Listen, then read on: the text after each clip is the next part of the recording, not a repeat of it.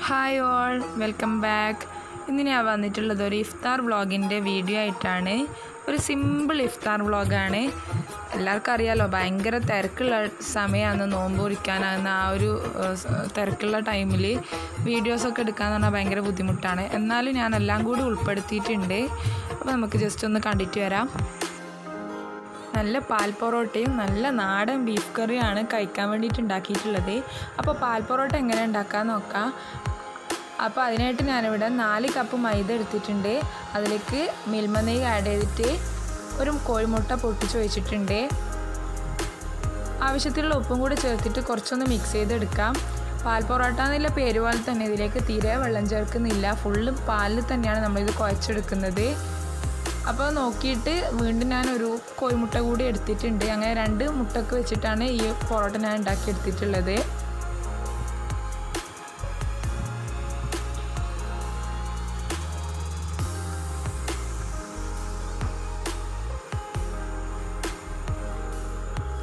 നേരത്തെ തന്നെ തിളപ്പിച്ച് വെച്ചിട്ടുള്ള പാലാണിത്. കുറച്ച് തണിഞ്ഞതിന് ശേഷം ചെറിയ ചൂടോടെ കൂടിയിട്ടാണ് ഈ മൈദയിലേക്ക് ഞാൻ ആഡ് ചെയ്യുന്നത്. എന്നിട്ട് നല്ലപോലെ കുഴച്ചിട്ട് നല്ല മാവ് പരുവത്തിലാക്കി എടുക്കാം.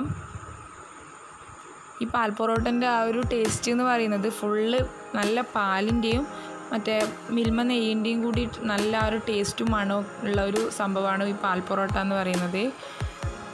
അപ്പോൾ നല്ലപോലെ മാവ് പരുവത്തിൽ കുഴച്ചെടുത്തിട്ടുണ്ട്. ഇനി നമുക്കിതൊരു പത്ത് പതിനഞ്ച് മിനിറ്റ് സെറ്റാകാൻ വേണ്ടി മാറ്റി വെക്കാം. നല്ല സോഫ്റ്റായി കിട്ടും. കുറച്ചുകൂടെ നെയ്യ് ആഡ് ചെയ്തതിന് ശേഷം ഞാൻ മാറ്റി വെച്ചിട്ടുണ്ട്. ഇനി നമ്മുടെ ബീഫ് നമുക്ക് കട്ട് ചെയ്ത് വൃത്തിയാക്കിയെടുക്കാം. ക്ലീൻ ചെയ്തിട്ടുള്ള ബീഫിലേക്ക് മുളക് പൊടി മഞ്ഞൾപ്പൊടി ഗരം മസാല ഉപ്പ് ബീഫ് മസാല അങ്ങനെയുള്ള എല്ലാ മസാല പൗഡേഴ്സും ആഡ് ചെയ്തിട്ടുണ്ട്. കുറച്ച് വെളിച്ചെണ്ണ കൂടി ആഡ് ചെയ്തിട്ട് ഇതാ നമ്മൾ വേവിക്കാനുള്ള പാത്രത്തിലേക്ക് ഇട്ട് കൊടുക്കുന്നേ. ഈ ബീഫ് ഇങ്ങനെ മസാലയൊക്കെ ഇട്ടിട്ട് വെള്ളവും വെച്ചിട്ട് കുറച്ച് സമയം നമ്മൾ അടുപ്പിലൊന്ന് തിളപ്പിച്ചെടുക്കും. കുറച്ച് തിളവന്നതിന് ശേഷം ഒരു നാലഞ്ച് ഉള്ളി കട്ട് ചെയ്ത് വെച്ചിട്ടുണ്ട്. ഉള്ളിയും വെളുത്തുള്ളിയും കൂടി. അപ്പോൾ ഇതും കൂടി ആ തിളക്കുന്ന ബീഫിലേക്ക് ഇട്ട് കൊടുക്കും. ഇതെല്ലാം കൂടി ഒന്നിച്ച് വെന്ത് കിട്ടലാണ്. നമ്മൾ കുക്കറിൽ വേറെ വേവിച്ചിട്ടൊക്കെ കറി വെക്കുമ്പോൾ ഈ ഒരു ടേസ്റ്റ് കിട്ടൂല. എല്ലാം കൂടി ഒന്നിച്ച് ഈ അടുപ്പിൽ കിടന്ന് ഇങ്ങനെ ചെറിയ ചെറിയ തീയിലിങ്ങനെ വെന്ത് കിട്ടണം. അപ്പോൾ അതാണ് സൂപ്പർ ടേസ്റ്റ് അപ്പോൾ ഈ ഉള്ളിയും വെളുത്തുള്ളിയും കൂടി ആഡ് ചെയ്തതിന് ശേഷം കുറച്ച് സമയം ഒന്ന് സെറ്റാൻ വെക്കുക അതിന് ശേഷം ഒരു നാല് തക്കാളി കൂടി ആഡ് ചെയ്യുന്നുണ്ട്. ഇഞ്ചി പച്ചമുളക് ഇതൊക്കെ എക്സ്ട്രാ ആഡ് ചെയ്തിട്ടുണ്ട് കേട്ടോ. അത് വീഡിയോയിൽ എടുക്കാൻ മറന്നുപോയി. അപ്പോൾ ഇതെല്ലാം കൂടി ആഡ് ചെയ്തിട്ട് നല്ലപോലെ മിക്സ് ചെയ്ത് ഇനി നമുക്ക് വേവാൻ വേണ്ടി അത് അടച്ച് വെക്കാം. അപ്പോൾ അത് അവിടെ കടന്ന് വെന്തോളും. അപ്പോൾ നമുക്ക് ഈ സമയം മറ്റുള്ള പണികൾ നോക്കാം. അതിക്ക് വേണ്ടിയിട്ട് ഞാനിവിടെ കോഴിയടയാണ് ഉണ്ടാക്കുന്നത്. അതിനായിട്ട് എല്ലില്ലാത്ത ചിക്കൻ എടുത്തിട്ടുണ്ട്. ചിക്കൻ മാഗ്നറ്റ് ചെയ്യാൻ വേണ്ടിയിട്ട് ഉപ്പ് മഞ്ഞൾപ്പൊടി കുരുമുളക് പൊടി ചിക്കൻ മസാല ഒക്കെ ഇട്ടിട്ട് മാഗ്നറ്റ് ചെയ്ത് വെച്ചിട്ടുണ്ട്.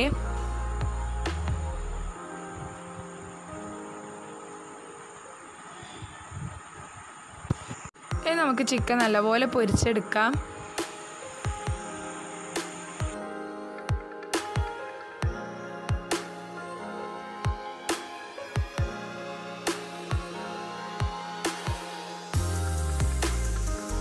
ചിക്കൻ പൊരിയുന്ന സമയം കൊണ്ട് ഞാനിവിടെ ഉരുളക്കിഴങ്ങ് പുഴുങ്ങാൻ വേണ്ടിയിട്ട് വെക്കണം. അതിന് വേണ്ടിയിട്ട് എന്റെ തൊലിയൊക്കെ കളയുന്നുണ്ട്. തൊലിയൊക്കെ കളഞ്ഞ് ഉപ്പും മഞ്ഞൾപ്പൊടി ഇട്ട് നല്ല കുക്കറിൽ വേവിച്ചെടുക്കുകയാണ് ചെയ്യുന്നത്.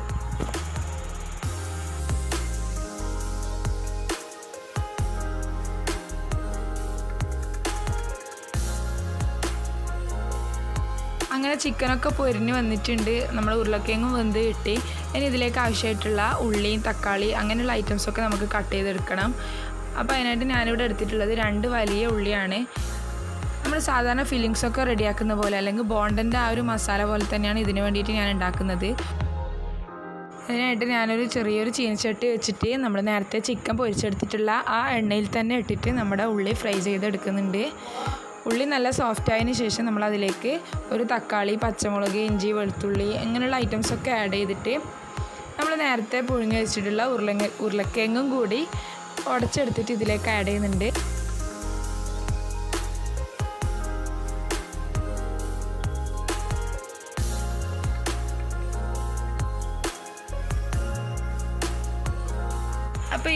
ഇതിലേക്ക് നമ്മൾ കുരുമുളക് പൊടി മുളക് പൊടി ചിക്കൻ മസാല ഇതെല്ലാം കൂടി ആഡ് ചെയ്തിട്ട് നമ്മൾ ഈ ഒരു മസാല ഇവിടെ മാറ്റി വെക്കാം. ഇത്രയേ ഉള്ളൂ. ഇനി നമുക്ക് നമ്മളെ കോഴിയുടെ അടയാക്കി എടുക്കാം. അതിനായിട്ട് ഞാനിവിടെ നമ്മുടെ ആ ഉരുളക്കിഴങ്ങിന്റെ ആ ഒരു മിക്സ് എടുത്തിട്ട് ചെറുങ്ങനെ ഒന്ന് പരത്തിയതിന് ശേഷം നമ്മുടെ ചിക്കൻ അതിലേക്ക് നടുക്ക് വെച്ചു കൊടുത്തിട്ട് ഇങ്ങനെ റൗണ്ട് ഉരുളകളാക്കി എടുക്കാം. ഇത് ബ്രെഡ് ക്രംസിലും മുട്ടയിലും നമുക്ക് ചെയ്തെടുക്കാം. പക്ഷെ ഞാനിവിടെ ചെയ്യുന്നത് മൈദപ്പൊടിയിൽ സാധാരണ നമ്മുടെ ബോണ്ടൊക്കെ പൊരിച്ചെടുക്കുന്ന പോലെ തന്നെയാണ്.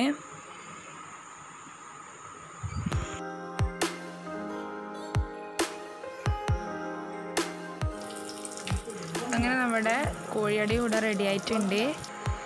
ആ സമയം കൊണ്ട് തന്നെ നമ്മുടെ ബീഫ് നല്ലപോലെ വെന്ത് കിട്ടി. നല്ല കുറുകി സൂപ്പർ ടേസ്റ്റി ആയിട്ടുള്ള നാടൻ ബീഫ് കറിയും റെഡി ആയിട്ടുണ്ട്.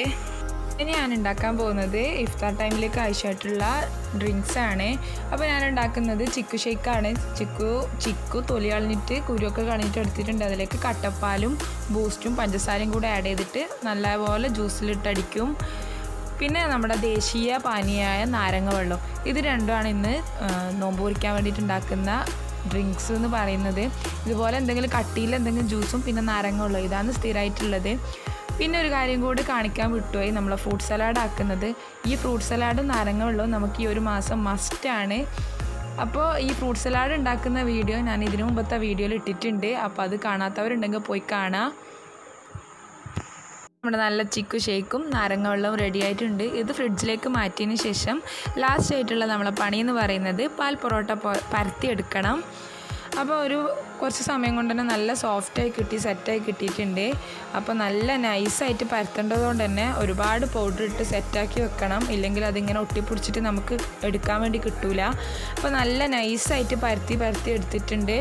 ഇനി നമ്മൾ അതിലേക്ക് കുറച്ച് മിൽമ നെയ്യ് നല്ലോണം അതിന്റെ മുകളിൽ തടവിയതിന് ശേഷം നമുക്ക് ഇങ്ങനെ റൗണ്ടാക്കി എടുക്കാം.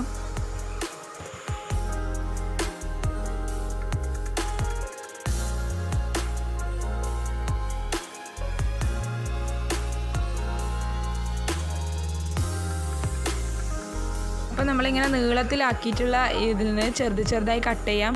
ഈ ചെറിയ ചെറിയതായിട്ട് കട്ട് ചെയ്തത് പരത്തി ഒരു സ്ക്വയർ ടൈപ്പിൽ പരത്തിയിട്ടാണ് നമ്മൾ പാൽ പൊറോട്ട ഉണ്ടാക്കിയെടുക്കുന്നത്. അപ്പോൾ എല്ലാം കൂടി ഇവിടെ കട്ട് ചെയ്തെടുത്തിട്ടുണ്ട്. ഇനിത് നമുക്ക് സ്ക്വയർ ടൈപ്പിൽ ചെറിയ രീതി എടുക്കാം പൊറോട്ട ടൈപ്പിൽ തന്നെ ലെയർ ലെയറായിട്ട് നമുക്ക് കിട്ടും. അത് നമ്മുടെ സൈഡിൽ നോക്കുമ്പോൾ കാണാൻ പറ്റും.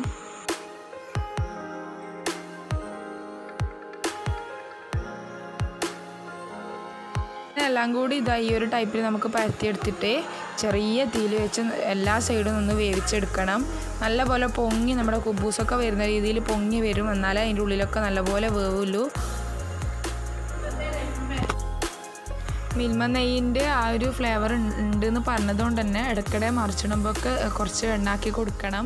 ഈ നെയ്യിന്റെ മണം ഇഷ്ടമില്ല എന്നുള്ളവർക്ക് അത് സ്കിപ്പ് ചെയ്യാം.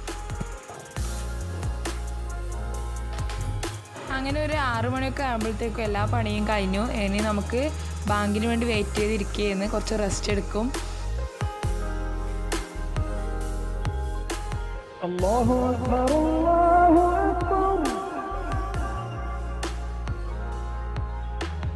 അപ്പോൾ ഇന്നത്തെ ഈ വ്ളോഗിൽ ഞാൻ ഉണ്ടാക്കിയിട്ടുള്ള എല്ലാ ഫുഡ് ഫുഡിന്റെയും റെസിപ്പീസ് മാക്സിമം ഇൻക്ലൂഡ് ചെയ്യാൻ ശ്രമിച്ചിട്ടുണ്ട്.